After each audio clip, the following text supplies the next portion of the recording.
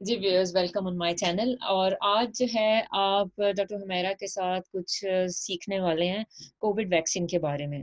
अच्छा तो इससे पहले कि हम कुछ कोविड वैक्सीन के बारे में बात करें और उसको जो है थोड़ा सा एक्सप्लेन किया जाए। बस एक शॉर्ट सी आपको मैं स्टोरी सुनाना चाहूँगी और फिर उसके बाद जो है ना, आपको मैं वैक्सीन के बारे में बताऊँगी। अच्छा जी शॉर्ट स्टोरी के जो एक किरदार है, उसका नाम है, एक औरत है, जो कि उसका नाम है परवीन। अच्छा ये जो परवीन है, ये आपकी जो है, वो काइंड ऑफ़ दुश्मन सी औरत है और ये आप पे अटैक करना चाहती है, आपको मारना चाहती है ना? अच्छा तो अब आप इस परवीन से बहुत ही तंग हैं और अब आप चाहते हैं कि इसके खिलाफ जो है ना कोई डिफेंस जो है, वो पैदा कर लिया जाए।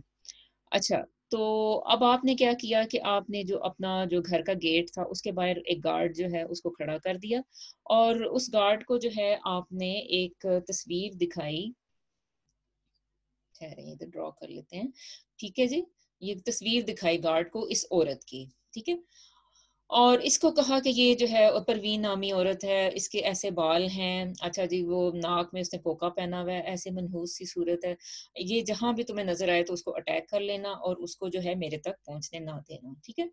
अच्छा परवीन जो थी ये बड़ी क्लेवर सी औरत थी। इसने क्या किया कि इसको सारी गेम समझ में आ गई। अच्छा इसने जो है ना अपना भेस बदल लिया। इसने जो है बालों में बाल अपने करली कर लिए आँखों पे एनक लगा ली कोका उतार दिया। अच्छा और आ, कपड़े जो थे इसके वही थे जो इसने अपने मतलब पहने हुए थे पहले। तो अब जो है इसने अपने नया नाम रख लिया फारूक रख लिया और ये अब एक नई शनाख्त के साथ जो है इस गार्ड के पास आई। ठीक है? अब ये फारूक बन के इस गार्ड के पास आई।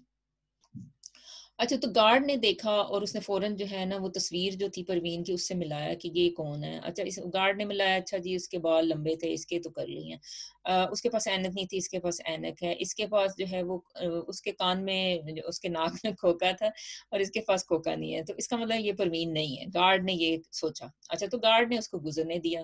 लेकिन गार्ड ने पीछे से जो है देखा कि ये जो कपड़े हैं, इसके तो वही हैं जो कि परवीन के थे, ठीक है? तो फिर गार्ड थोड़ा सा शक शुबे में पड़ गया गया। लेकिन जब तक जो है गार्ड जाके उसको अटैक करता तो परवीन जो थी वो तीस चालीस फ़ीसद जो है ना वो आपको नुकसान पहुँचा चुकी थी, ठीक है? तो असल में जो पर, ये फारूक था, ये असल में परवीन ही थी, लेकिन उसने भेस बदला हुआ था। अच्छा जी, अब इसको जो है वो कोविड वैक्सीन से इसका क्या कहानी का ताल्लुक है तो मैं आपको समझाती हूँ। देखिए, ये जो परवीन है, ये असल में आपका कोरोना वायरस है, ठीक है जी? अच्छा ये कोरोना वायरस जो है इसको हमने परवीन का नाम दिया। और ये फारूक जो है, ये न्यू स्ट्रेन है। या नई जो उसकी पकड़ी गई स्ट्रेन कोरोना वायरस की, ये वो है। अच्छा जी, ये गार्ड जो है, ये आपके डिफेंस सेल्स हैं, जो कि आपकी बॉडी में होते हैं। इनको डब्ल्यू भी कहते हैं, ठीक है? और ये जो आपने वैक्स ये जो आपने तस्वीर दिखाई थी इसको गार्ड को तो ये असल में जब ये आप वैक्सीन जो है ना अपने आप को लगवाते हैं तो इसका ये होता है कि आप अपने जो सेल्स हैं आपके जो डिफेंस सेल्स हैं उनको आप काइंड kind ऑफ़ of एक तस्वीर या एक शनाख्त की जो है ना एक चीज़ दिखा रहे होते हो कि इस तरह का एक वायरस जो है आप पे अटैक करेगा जब अटैक करे तो फिर आपने जो है हमें बचाना है।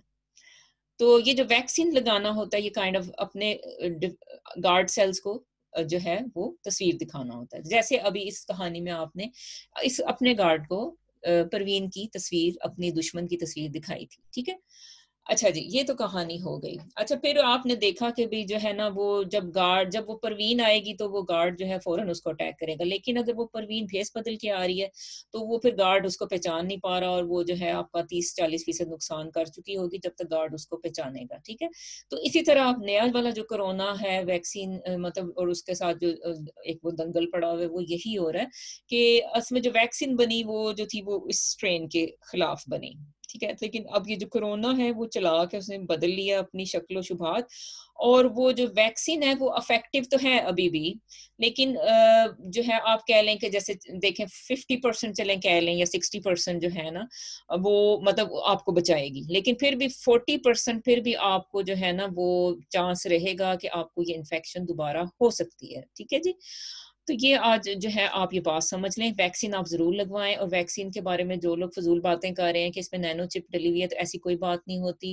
देखिए, आपके जो सेल्स होते हैं बॉडी के, अल्लाह ने ऐसे बनाए हैं कि कोई भी उसमें जो है वो बेशक कोई माइक्रोस्कोपिक कोई चीज़ उसमें जाएगी। ये जो सेल्स होते हैं, ये गार्ड सेल्स आपके जो हैं, ये उन पर फ़ौरन अटैक करते हैं। फ़ौरन अटैक करते हैं, उसको खा जाते हैं, ठीक है जी? और उसको, या फिर यह है कि उसको उसके आगे पीछे घेरा तंग करके तो उसको जो है उधर ही ख़त्म कर देते हैं।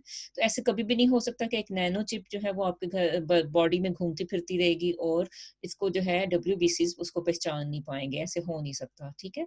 तो वो, हो सकता है फ़ौरन नहीं तो वो हो सकता है कि वन वीक के अंदर उसको पहचान लें। आ, लेकिन ये है कि ये इस तरह से नहीं होगा कि भाई आप जो पूरी उम्र जो है अब मतलब अगर आपकी चालीस साल की ज़िंदगी आगे पड़ी है तो वो नैनो चिप उधर ही फूलती रहेगी और आप जो है वो रोबोट की तरह आपको कोई रीड कर रहा होगा। तो ये बातें ये छोड़ दें और आपको अगर मुल्क में आपके अवेलेबल है वैक्सीन तो ज़रूर लगवाएँ। इधर मैं यूके में हूँ तो डॉक्टर जो हैं वो लगवा रहे हैं। मैंने अभी नहीं लगवाई लेकिन मैं भी ज़ाहिर मैं इस प्रोसेस में हूँ कि मुझे भी लग जाए। ठीक है तो मैं भी लगवा लूँगी। डॉक्टर्स ने अभी दूसरी वाली अभी तो उनको डोज जो है वैक्सीन की लग रही है। तो कुछ भी नहीं हुआ, बिल्कुल ठीक है डॉक्टर्स नर्सेज सारा जो हेल्थ केयर स्टाफ है, वो सबने लगवाई है। तो बिल्कुल ठीक ठाक है, कोई ऐसा मसला जो है देखने में नहीं आया। तो व्यूअर्स ये छोटी सी वीडियो थी आप लोगों के लिए, एक बिल्कुल दिलचस्प अंदाज में। और आई होप कि आपको अब वैक्सीन की समझ भी आई और कोरोना की चलाकियाँ भी समझ आई। तो व्यूअर्स थैंक्स फॉर वॉचिंग